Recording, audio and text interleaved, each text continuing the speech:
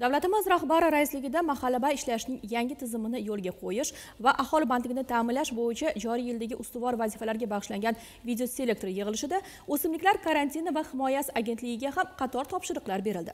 Xususan har bir mahallada o'simliklarni himoya qilish xizmatlarini yo'lga qo'yish xonadonlarga xizmat ko'rsatish tizimini tashkil etish masalasi ilgari surildi. Mazkur topshiriqlar ijrosini e, ijrosi yuzasidan o'simliklar karantini va himoyasi agentligi agentlikning toshkent viloyat boshqarmasi rahbarlari hamda bank xodimlaridan iborat ishchi guruh toshkent viloyati mahallalarida bo'lib o'rganishlar olib bordi va hudud aholisi uchun seminarlar tashkil etdi. Dastlabki manzil toshkent viloyatining piskent tumani bo'ldi. Umumiy yer maydoni nol yuzda yetmish to'qqiz ming kilometrni tashkil etuvchi mazkur tumanda yigirma to'qqizta mahalla mavjud bo'lib ularda bir yuz uch mingga yaqin aholi istiqomat qiladi.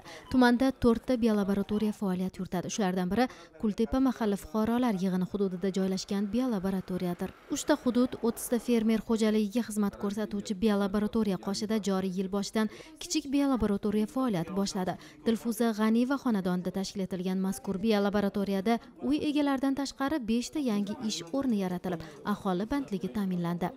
Gultepa oltinko'z biolaboratoriyasida o'zim yigirma yildan oshiq ishlaganman. Hozir o'zim alohida bularga yordamchi kuch sifatida uyimda boshladik bu ishni. Beshta ishchi o'rin qilib ishlayapmiz.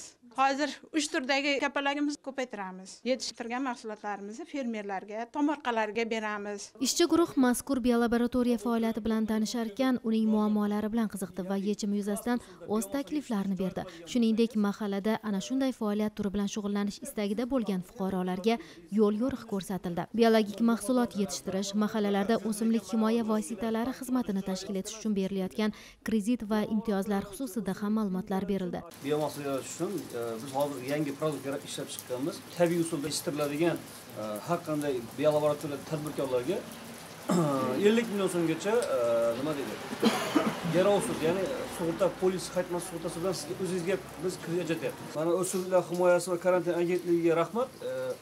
Mahallabay ishlash tizimini ham bizga taklif qilyapti agrobankka biz aytishimiz mumkinki ham ijtimoiy ham moliyaviy tarafdan qo'llab quvvatlash bo'yicha har bir tumanga bittadan xodim E, biriktirganmiz. Aynan yangidan xodim e, shtat ochib shunga xodim biriktirganmiz. Shuningdek ishchi guruh mazkur yo'nalishda klasterlar tashkil etish ushbu faoliyat turi bilan shug'ullanmoqchi bo'lgan aholi xonadonlariga biomahsulot tarqatish va buyurtma asosida mahsulotni sotib olish tizimi hamda uning afzalliklari xususida ham tushunchalar berdi. Shundan so'ng mutasaddilar gultepa oltin ko'z biolaboratoriyasi faoliyatiga e'tibor qaratdi. Biolaboratoriya rahbarining aytishicha ushbu yo'nalishda klaster tashkil etish va qo'shimcha tarzda yana o'nta xonadonda mini laboratoriyalar ochib faoliyat ko'lamini kengaytirishni reja qilgan. Asalari o'zi anaqa deyiladi nima deydi zavod bo'lardi to'g'rimi? Mana shartnomasini bergan ekan hammasi yig'ildimi? A buni tezlashtirib bering bu uspid qilish kerak aprelda masalan biofonlar massiviy chiqaradi. Aprel уже may iyun iyul uspid qilishmaydi kultepa mahallasining qahramon ko'chasi beshinchi uyda istiqomat qiluvchi muqaddas ro'ziyeva berilayotgan imtiyoz va imkoniyatlardan foydalanib o'z xonadonida kichik biolaboratoriya ochish istagi borligini aytdi. Mana shu xonadonga laboratoriya ochildi deb eshitgandik. Biz ham chiqqan holatdan chiqqan edik. Oilamda mana shu o'g'lim ishsiz edi. Mana shu laboratoriyani ochish haqida fikrlarimni bildirgandim o'simliklar himoyasi karantin agentligi bizga ko'rsatmalar berdi. Keyingi oylarda biz ham o'zimiz xonadonimizda laboratoriya ochmoqchimiz. Uyda o'tirib foydali mehnat turi bilan shug'ullanish tizimining yaratilayotgani mahalla aholisi e'tiborini tortdi va shu yerning o'zida fuqarolar o'zlarini qiziqtirgan savollariga javoblar olishdi. Ishchi guruh toshkent viloyati mahallalari bo'ylab o'z faoliyatini davom ettirmoqda. Madina umarova rahmatulloh. Qudratov yoshlar.